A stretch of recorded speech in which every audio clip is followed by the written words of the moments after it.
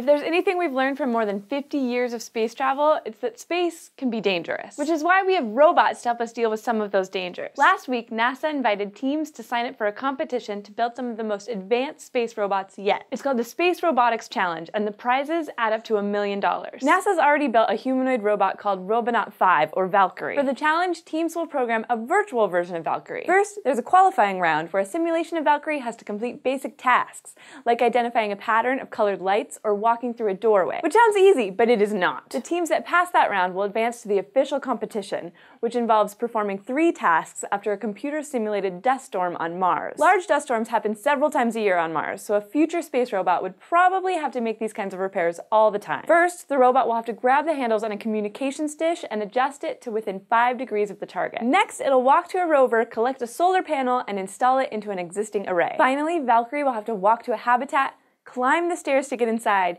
and use a leak detector tool to find an air leak. Then it'll press a button on the virtual repair tool to stop the leak. Once all that's done, the simulated robot will head over to the finish line. Each team simulation will need to complete five rounds of the tasks, with the positions of the objects changing every time. And there's a time limit too. Depending on the task, Valkyrie will have between 30 minutes and 2 hours to finish. The top 4 teams of the virtual challenge will be awarded time with a real Valkyrie for at least 2 weeks, where they can put their code to the test and prepare for a real-life physical version of the challenge in late 2017. Eventually, NASA hopes humanoid robots like Valkyrie will assist human crews traveling to Mars with basic tasks and repairs. These robots will also be useful here on Earth for things like disaster relief and industrial plant maintenance. If you're interested in competing, there's a link to the competition website in the description, and good luck. Meanwhile, astronomers are discovering new things much farther from home. In a study published this week in the journal Nature, researchers announced that they've discovered the first direct evidence for hibernating novas. Novas are different from supernovas, those beautiful, powerful explosions that happen when a star is dying. Novas are much smaller explosions, and the star usually doesn't die in the process. Regular novas happen only in binary star systems, where a white dwarf and another small star orbit their center of mass. The white dwarf pulls hydrogen away from its partner star, and eventually the gas builds up and causes a runaway fusion reaction in the white dwarf. In this reaction, tons of hydrogen is fused into heavier elements, which make the star erupt with a huge amount of heat and light. Boom! A nova. Novas are the most common explosions in the galaxy, and they're usually visible to the naked eye, so we've known about them for a while. But we're only now finding the first direct evidence of nova systems going through cycles and exploding multiple times. In 2003, a team of astronomers from the University of Warsaw in Poland began monitoring a nova over 20,000 light years from Earth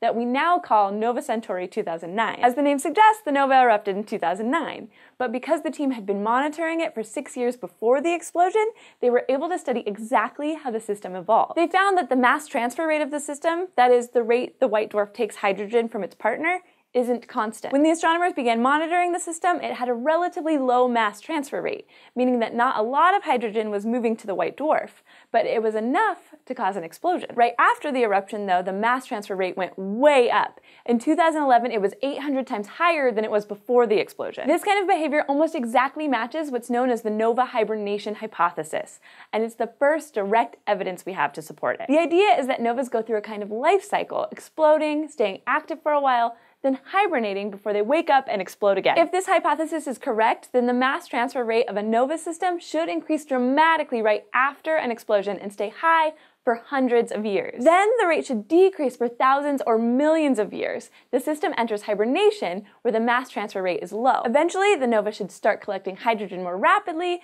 leading to another explosion and starting the process all over again. With Nova Centauri 2009, we've now seen a few of these steps. The only difference between this system and what the hypothesis predicts, though, is that Nova Centauri 2009 may have never entered total hibernation. This system is probably too small to go into complete hibernation. Instead, the mass transfer rate just decreases between explosions. Larger novas would go into hibernation and then wake up before exploding. We don't know yet why novas wake up, but we do know that their nap times have very dramatic endings. Thank you for watching this episode of SciShow Space News, and thanks especially to our patrons on Patreon who help make this show and this whole channel possible. If you want to help us keep making episodes like this, you can go to patreon.com slash scishow, and don't forget to go to youtube.com slash scishow space and subscribe.